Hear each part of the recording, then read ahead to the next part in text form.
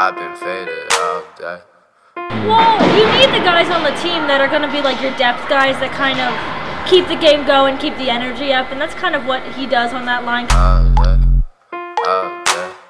I've been faded all day, all day. Well, he's a, he's a veteran leader for us. He's, uh, he's a very reliable player that uh, uh, he, he brings effort and energy to, uh, uh, to every shift for our team. Shooting at you, fake. Philadelphie reste sur 4 victoires lors des, des 5 derniers matchs. On croit encore au, au playoff ici euh. Euh, oui, oui, oui, oui, on est, euh, comme je disais, on est 3 points, 3 points derrière. Euh, il reste euh, 18 ou 19 matchs peut-être sur les, les, les 5 ou semaines qui restent, 4, 4 semaines et demie. Donc euh, tout est possible, forcément, il faut qu'on on peut juste se concentrer sur nos matchs. Mais, euh, mais, euh, mais euh, oui, même si c'est sûr, on y croit. ouais. Deux buts pour toi, euh, coup sur coup, euh, fin février, il y a 10 jours à peu près. Notamment celui contre Minnesota qui est le, winning goal. Qu'est-ce que tu as ressenti à ce moment-là Euh, honnêtement, ça a juste plus fait du bien qu'autre chose que notre ligne puisse aider l'équipe pour une fois de, au niveau du, score sur le tableau. Généralement, on, aide l'équipe d'une façon un peu, un peu moins gratifiante, on va dire, à bloquer des shoots ou à jouer à 4 contre 5. Et cette fois-ci, on a réussi à, à mettre le but entre une période qui a réussi à nous faire gagner le match. Du coup, c'était vraiment agréable pour, euh, pour, euh, pour toute la ligne. T'avais pas marqué de, de but depuis euh, début décembre, il me semble. Ouais, C'est un but qui t'a fait du bien. Est-ce que tu doutais à ce, ce moment-là un petit Euh, peu pour, pour être honnête, je savais même pas que. juste avant le match, ils en avaient parlé à la télé, je le savais même pas. Euh, je ne fais pas spécialement très attention. C'est sûr que je savais que j'avais pas marqué depuis longtemps, mais euh, quand le but est arrivé, ça, c'est pas. Je l'ai pas ressenti comme un grand enfin. Pour moi, vraiment, je, le seul truc que je pensais, c'était qu'on puisse gagner le match. C'était le, ça m'a vraiment fait plaisir. Yeah, like I said, you know, he he's a team guy. He blocks shots and uh, he plays he plays for the team, and uh, he's a great uh, great penalty killer. You know, and uh, he's he's done a really good job for us.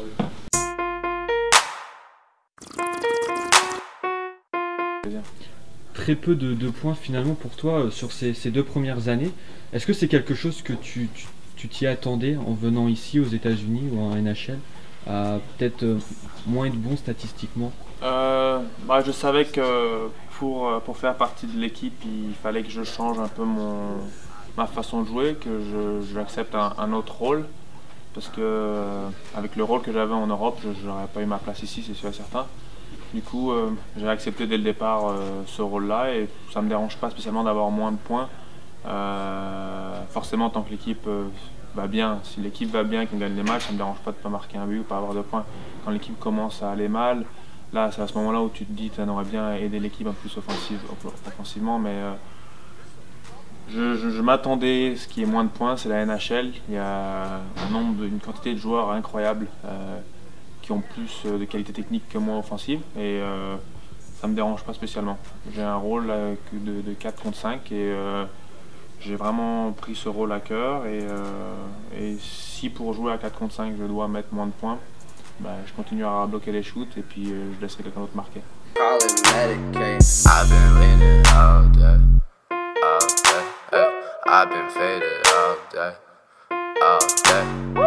I've been I've been faded all day. How do you feel about him I think he's a guy that, uh, an extremely hard worker, somebody that uh, comes to the rink every single day, and uh, his teammates know what to expect from him. Uh, he's been great on our penalty kill. Uh, he's also been great for myself and, and Nuvi. Uh, he's constantly out there before practice uh, doing goalie drills with us, and you know we really appreciate that.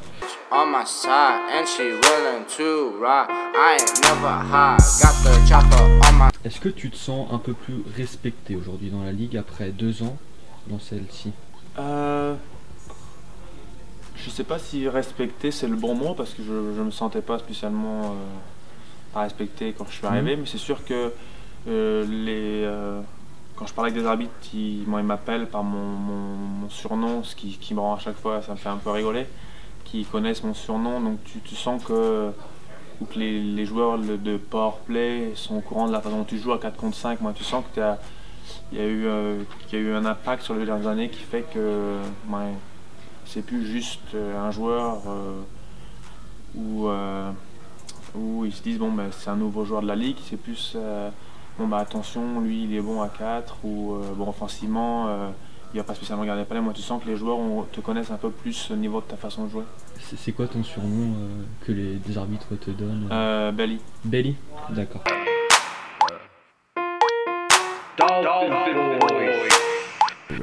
Uh, he brings a, a, positive energy and uh, great work ethic. He's always up in the gym, uh, working hard, pushing other guys, and um, you know he's a guy that wants to uh, get the best out of himself, and uh, it's contagious amongst the team. Yeah, I mean, uh, you know, for a guy who's, uh, you know, it's a second year in the league over here, he's a veteran guy. Um, you know, he brings a lot of hockey experience and knowledge to our hockey club. Uh, and, you know, he's just very professional day in and day out. Uh, you know, the work ethic that he brings and the professional about himself. And, uh, you know, I think that's contagious around the rest of the team. Pull up in the whip, shoot at you, 500e point pour euh, Claude Giroux euh, la semaine dernière. Qu'est-ce que ça t'inspire de voir un, joueur comme ça inscrire son un coéquipier, inscrire son 500e point en NHL Moi, comme je le dis tous les jours, j'ai la chance. Euh, c'est vraiment une chance euh, quand tu vis en France, quand tu euh, évolues en France, de pouvoir un, jour arriver ici, peu importe l'âge que j'ai, d'être ici, de pouvoir jouer avec un mec comme ça et puis de le voir tous les jours à l'entraînement.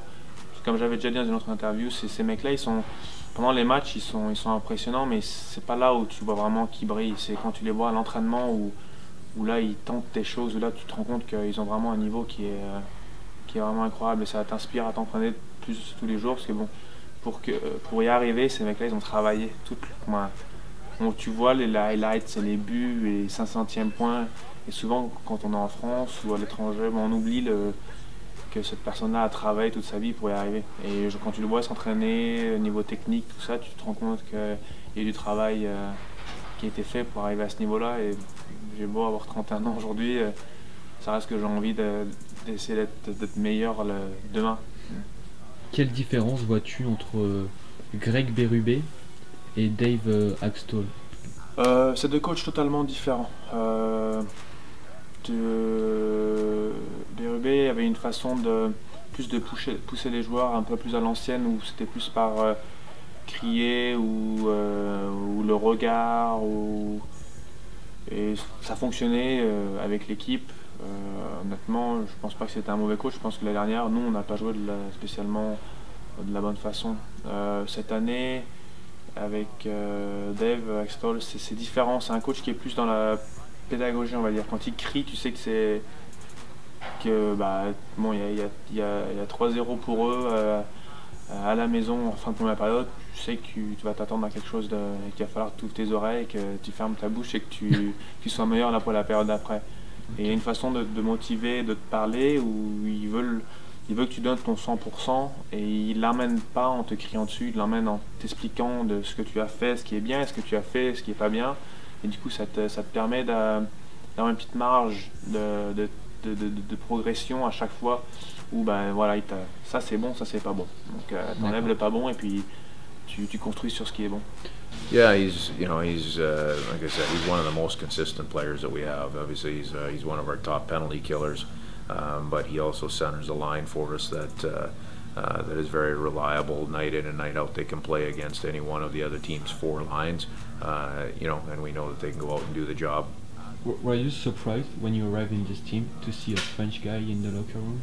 no, I had, I had heard a lot about him. Uh, I had heard a lot about uh, him as a person and uh, and the quality of person that he is.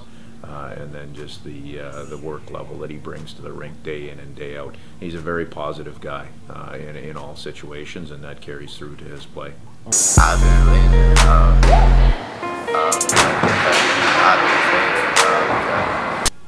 Seras-tu présent avec l'équipe de France au championnat du monde en 2016 euh, je, suis dans une position assez difficile. Je, déteste ne pas aller avec l'équipe de France, mais euh, si on se qualifie en playoff, euh, moi j'ai pas mon mot à dire.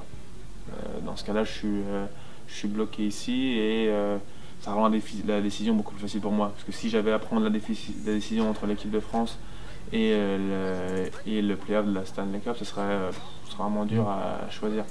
Mais euh, donc du coup, si cette année pour l'instant, je, physiquement je me sens bien, donc si il s'avère que malheureusement on ne fait pas les playoffs avec l'équipe, oui je serai présent au mondial.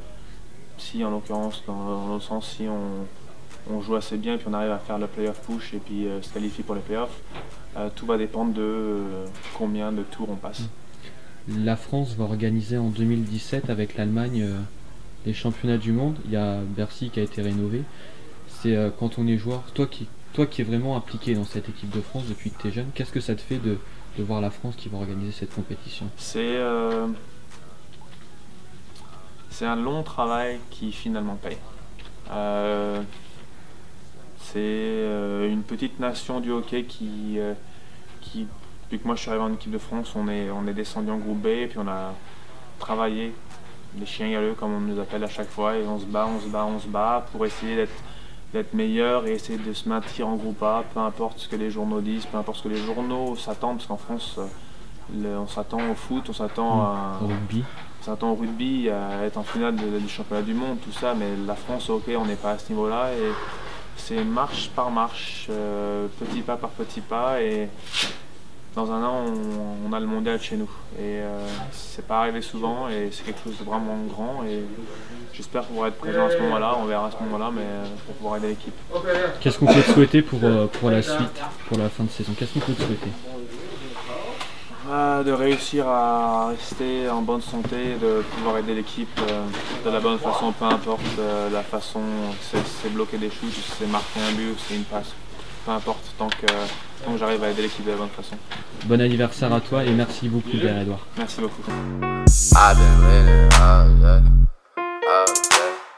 I've been faded all day, all day.